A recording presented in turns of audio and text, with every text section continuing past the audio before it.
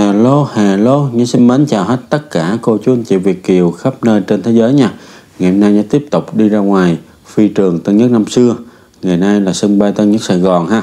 Để ghi nhận những hình ảnh Việt Kiều mới nhất mà ngày hôm nay cô chú bác à, ở cái chỗ mà chuyến đến Arrivals à, vào cái buổi coi như là nửa đêm 00 giờ 41 à, thì nhã nhìn thấy là cũng còn rất là nhiều chuyến bay quá cảnh Hàn Quốc và Nhật Bản về Việt Nam ăn Tết cô chú bác. Vé máy bay vào ngày mùng 1, mùng 2, mùng 3 thì còn mắc ha khoảng à, 50 triệu đồng à, cho chuyến máy bay thẳng từ thành phố San Francisco ở à, Bắc California về Sài Gòn. Nhưng mà ngày hôm nay á, nhà sẽ quay ngay cái chỗ mà à, đi cô chú bác có nghĩa là sau Tết về kiều Mỹ ha. Lẳng lặng sách vali về nước à, sau khi mà đã lì xì này nọ xong, xài tiền này nọ xong, thì ờ, có có những hoàn cảnh là họ hết chi phí của chú bác. Cũng như là họ gấp để bay về Mỹ cày trả bill trả bill, trả bọng này nọ lại tiền nhà, tiền xe, đủ thứ tiền của chú bác. Bay về Mỹ làm lại nha. Rồi, mời cô chú anh chị cùng xem ở trên lầu ra ga đi đưa tiễn thì nó buồn như thế nào, ra làm sao vào những cái ngày Tết như thế này như cô chú bác? Đến đây ha, nói chuyện vài câu. Đây thì nhiều lúc 5 10 năm. Cũng quay trở về cô chú bác. Ừ. Lặng lẽ đi thôi. Rất là buồn ha. Những chỗ dưới kia thì vui lắm. Có người khóc rất nước mắt luôn cô chú bác. Anh này mới tới nè, Giờ sắp vali vô đi Lóng ngóng lại con người thân, Có ngó không? Còn đây cũng cảnh chia tay nè cảnh chia tay rồi đó. Chuẩn bị vô. Đó, chia tay người thân ha. Cái hành lý của mấy em này nè. Nó cái vali này nọ. Adidas. Sau Tết đi về Mỹ cày lại buồn ha. Quá vắng.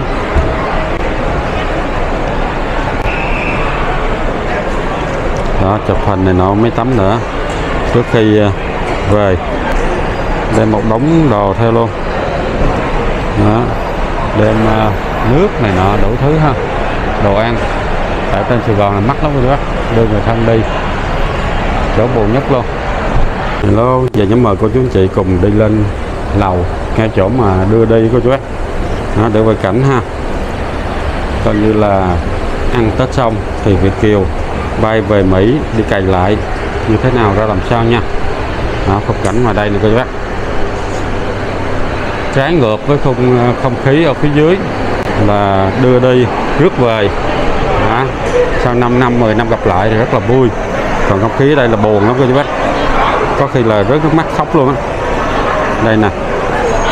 Hành lý của người thân để để vô ha. Rồi chỗ này là nó cũng ải á cô chú bác. Đây. Không khí. Đó, sân bay. Ừ. Cái sân bay này cô bác. Cái chỗ này là đưa đi nha đây đây. Đó. Chú anh chị thấy không sau Tết ha. Bà con Việt Kiều bay trở lên là Mỹ đi cày lại cái bác là ở đây. Ừ, chỗ này là buồn nhất luôn. Đó cả nhà thấy không đó có người vô nè. Như tay người thân đi chung với chồng con thì nó vui. Nhưng mà một mình chia tay cô bác buồn lắm. Ừ, còn đây cũng cảnh chia tay nè. Cảnh chia tay cô bác chuẩn này vô đó, cho tay người thân ha. Đó rồi những thể thấy không không khí nhưng mà đây. Rồi. Chỗ này là bác. Và sau khi mà tới nè. Nó sau khi mà xe taxi xe nhà chở tới. Đó là ở đây này các bác. Đó từ ờ, ở dưới cầu vượt ha đi lên. Đó lên lên đây thì bỏ hành lý xuống. Giống như anh bên kia các coi bác sân bay vắng ha. Những ngày sau tết. Hành lý của chị này nè quá trường đông luôn. Đó, đó. rồi. Đó, cảnh này là tiễn đi nè các bác tiễn đi. Ừ.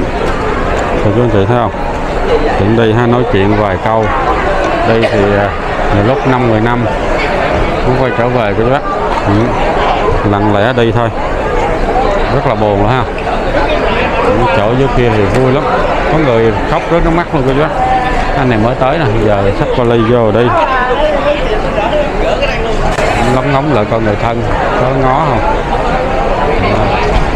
Rồi vô trong đó là xong luôn á. Đó là đi ha. Mọi người đó là buồn liền á.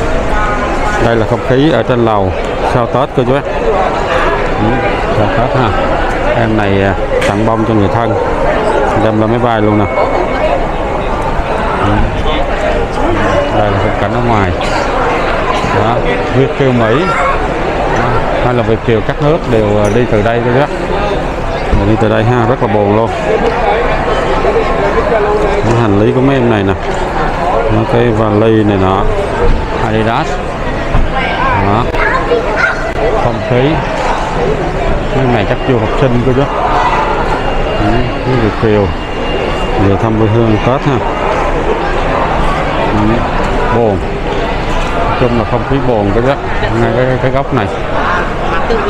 Chỗ này là không thấy vui được. Đó không khí xung quanh nè. Không khí xung quanh. Đó. Việt Kiều. Coi như là về Việt Nam xong giờ bay trở lại về Mỹ này nọ ha. Trên này nó vắng lắm. Rất là vắng, coi chú bác. Nó không tiến chị thấy không? Ta ngồi ở đây. Chúng ta nói chuyện này nọ trước khi mà lên máy bay đi ha. Chỗ này buồn nhất luôn. Ừ. Chỗ này là chỗ buồn nhất cô chú bác. Sau tết, chỗ này là buồn nhất. Vắng tanh luôn. Chưa ai chịu ờ, đi cô chú bác. Ừ, khung cảnh à, nè xung quanh nè à. nó vắng lắm. À, Đó đây người ta cũng ngồi đợi. Cũng ngồi đợi nha cô chú ấy. đây ngồi đợi nè. Sau tết đi về mỹ cày lại buồn ha. Ừ. quá vắng.